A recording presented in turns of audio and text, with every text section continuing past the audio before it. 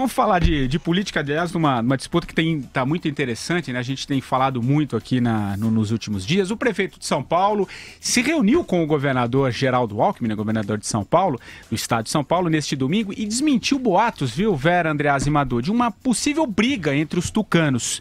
Em pleno Dia dos Pais, Dória afirmou que especulações não vão abalar a amizade e o respeito entre os dois. Coloca o vídeo que, que eles gravaram, Reginaldo.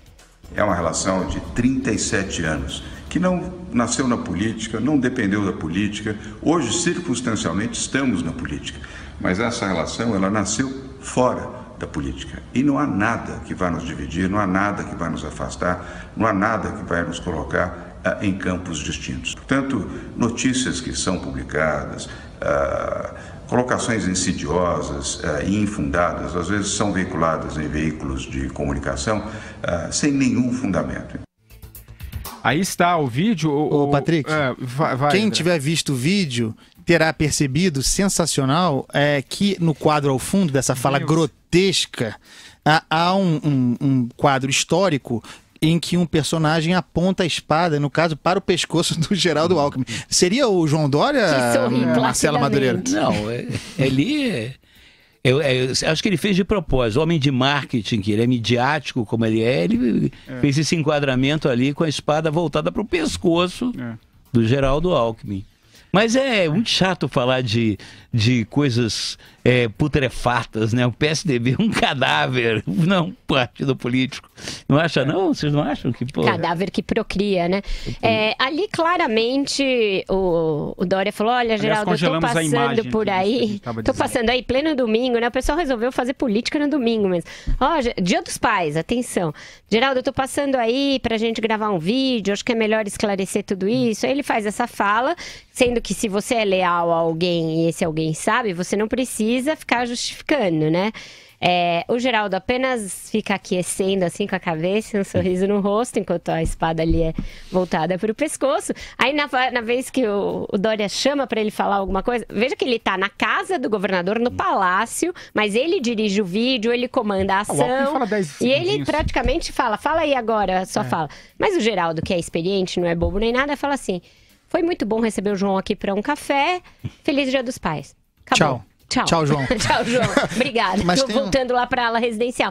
Quer dizer, é... Vocês acham que ele está com medo de ser visto como um traidor e isso mobilizou essa, esse discurso? Mas aí é... nisso ele afeta justamente que é um traidor, porque ele vai lá no domingo e na segunda está em Palmas sendo recebido como presidenciável.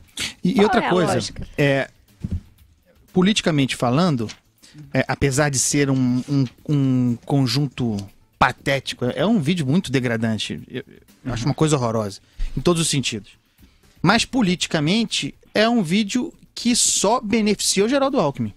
É, mais uma vez, o João Dória é, colocando corda no próprio pescoço.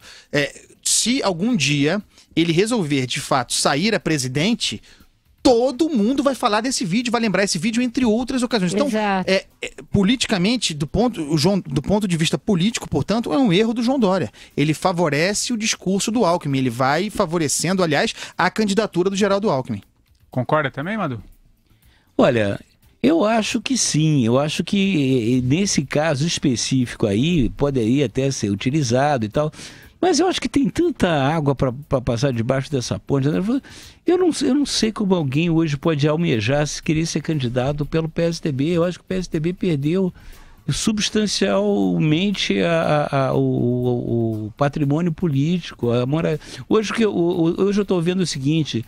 É, até nos jornais de domingo, em mais de um artigo, existe uma coalizão PT, PMDB, PSDB para sabotar a Lava Jato. Eu acho que existe uma percepção do público com relação a isso, eu claro. Eu escrevi sobre clara. isso, falei da, da articulação Lulécio, que voltou. Ah, né? o Lulécio eu que não queria redivivo. citar a fonte, mas enfim. e que passa pela reforma política é. também. Reforma política é produto disso. É. Então, está é, claro, o, hoje o PSDB está nu né? Mandou um nudes para a sociedade. Eu acho que eu não vejo como. Mas, Madu, não nos esqueçamos do, de que você tem toda a razão quando, quando fa fala que o PSDB está putrefa putrefato, hum. né?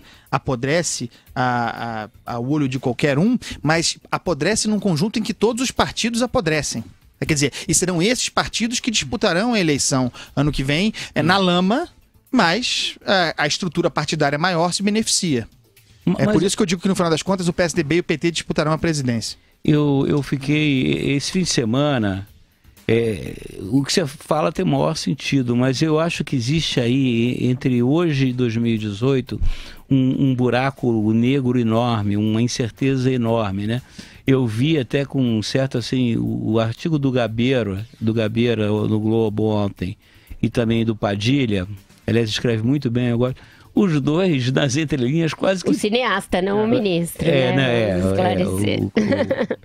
Zé Padilha. Zé Padilha. Zé Padilha. Ele escreve muito bem, pensa, eu acho que ele é muito coerente, pensa muito bem, articula bem, mas os dois caras que sempre foram assim muito é, calmos, sensatos, quase que pregam né, a, a, des, a desobediência civil para você poder fazer uma transformação radical na conjuntura política. Tem uma pesquisa que saiu no Estadão ontem também que mostra muito esse desalento, né? As pessoas não se identificam com nenhum dos partidos, não vislumbram é, escolher entre candidatos do PT, do PMDB e do PSDB, não, não admitem isso quando questionadas e mostram esse fastio generalizado com a política. Geralmente, quando a coisa assim é muito, né?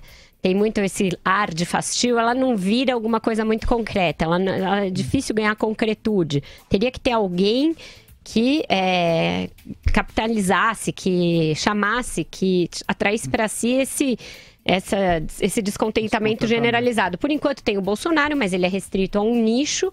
E o Dória, imagina, tem aí a pretensão de ser essa pessoa, de ocupar esse lugar. Aliás. E aí ele faz esses acenos, desculpa, Patrick, claro. para o Alckmin, na tentativa de dizer: olha, se acontecer foi a despeito da minha vontade, não porque eu quis. Só que na política os gestos contam, né? Na sexta-feira, o que, que ele fez, é, ele, João Dória? Foi lá é, num carrinho da prefeitura, pegou um ovo na mão, falou assim: resolvi fazer da ovada uma gemada. Um e aí uma empresa dessas que ele faz parceria é. estaria fornecendo omeletes, gemadas para a população de rua. Então ele claramente está usando um episódio que é político, não tem nada a ver com a gestão da cidade, para se promover. E hoje ele foi de novo a Palmas, foi recebido com gritos de presidenciável, é, isso é, Exatamente né? isso que eu ia é. falar, exatamente. Ele, ele foi ovacionado hoje ao chegar em Palmas no Tocantins, camisetas e faixas colocando o Dória como candidato, né? Dentro disso que a gente está falando aqui. É, foram expostas pela comitiva que recebeu o Tucano, liderada pelo senador Ataídes Oliveira. E de acordo com o parlamentar, porém, é cedo para se falar em eleição. Mas, ah, olha só, fala. Cínicos. Pra gente, eu, pra... eu bato firme aqui na antecipação de campanha eleitoral do Lula. Está em campanha. Para ser justo, também não é aceitável a campanha antecipada do João Dória. Está em campanha, é prefeito de São Paulo e está em campanha. O TSE deveria se manifestar a esse respeito, porque isso é antecipação de campanha eleitoral fora do calendário. Isto é crime. E agora escancarou geral. O Ciro Gomes tem agenda também. A, a, o Lula vai fazer a caravana lá de ônibus, que já se anunciou, e o próprio Alckmin tem também um giro pelo Brasil aí, todo e mundo Temer vai giboiando, em busca né? desses corações e mentes. E Temer está escondido. O Brasil virou uma grande esculhambação, né, meus amigos? Vamos combinar que é, o Brasil virou uma grande esculhambação. Essa lei, essa lei é letra morta, né? De que você tem prazos para fazer campanha.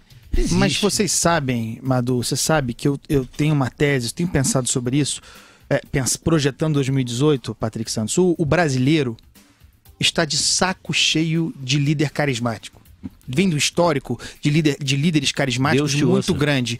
E me parece que se cria o cenário para a eleição de, de alguém neutro, de alguém que seja que queira gerir o país, que tenha é, que fale sobre economia, que tenha projeto para acabar, acabar com desemprego. Não sei se existe esse nome ainda, tá? Porque é, não ter carisma como tem o Lula ou o João Dória não significa ser um chuchu. Não é disso que eu estou falando, mas um certo equilíbrio. Ah, é, a o triunfo do carisma não foi bom para o Brasil. Até agora não foi bom. Mas o Chuchu está se valendo disso e vai. E na fala que ele correu aí o Brasil, acho que foi no Rio Grande do Sul que ele falou que 2018 vai ser a eleição da experiência. Então oh. ele está se valendo um pouco disso. Não combinei com ele, não. Pra, nunca nem falei com ele. Para justamente tentar mostrar que não é um momento que o Brasil está num momento complicado, que não é um momento para novatos e nem pessoas ali diletantes, voluntaristas, que seria um momento de alguém para pôr a bola no chão. E essa é uma das estratégias dele, além da outra que é costurar por dentro. Ele já tem o apoio do grupo do, do Aécio Neves, foi hábil em costurar isso. Então, internamente ele está calçado e externamente ele quer se opor ao Dória justamente se mostrando como alguém mais experiente, mais sereno, menos, né, do oba-oba. Tanto que você vê que no vídeo ele só fica ali, né? O Madu, eu acho, eu acho o seguinte, André, só, só claro. para pegar esse gancho da Vera, para governar o Brasil, você não vai ter que ter currículo, vai ter que ter folha corrida. não ter, né? Mas tem uma não, folha corrida, vai ter que ter. Olha, eu já roubei, eu já roubei, sei como é que rouba. Um, um elemento decisivo para 2018 é, eleitoralmente, e os candidatos precisam entender isso, só um entendeu isso até agora, que foi o Jair Bolsonaro, ah, um elemento fundamental vai ser a segurança pública. O Bolsonaro entendeu isso, está tratando disso como prioridade, faz muito bem e ele se destaca é, sobretudo por esse motivo. Os outros candidatos postulantes precisam entender que o brasileiro quer ouvir, pode ser que não resulte em nada, mas quer ouvir sobre segurança pública. E você veja que o vídeo que está atrás do Patrick, a foto do Dória chegando em Palmas, tem um sujeito lá recepcionando ele com a camiseta Dória, Dória presidente, presidente, né? É, isso custa um dinheirinho. E, e, exato. E ele, vocês vejam que as últimas falas dele jamais são peremptórias no sentido de não serem, em hipótese alguma, candidato a, prefe... a presidente. Ficarei na prefeitura até o fim do meu mandato. Isso ele falava na época da eleição, já não fala mais. Ele fala em lealdade, ele fala que não disputará com o Alckmin, mas não descarta peremptoriamente a possibilidade de ser candidato a presidente. Era o caso dele ver esse militante e falar: meu amigo, obrigada, mas não serei candidato a presidente. Ele não fez isso.